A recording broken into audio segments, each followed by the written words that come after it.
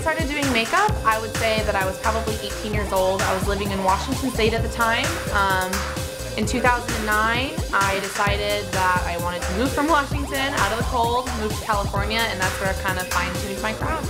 I'm all about empowering women. I just want everybody to feel as beautiful as they should, you know? So I started doing makeup for that reason alone. It's what fuels me every day. I love the, like when I work with my bridal clients, I love them sitting in my chair and feeling beautiful.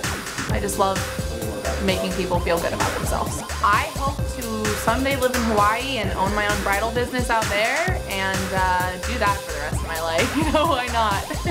Today I'm doing like a crazy Day of the Dead makeup. I'm doing a runway show. Um, something really fun, something to show that I'm not afraid to play with color and get, you know, get my hands messy. So, um, yeah, we're going, we're going crazy today.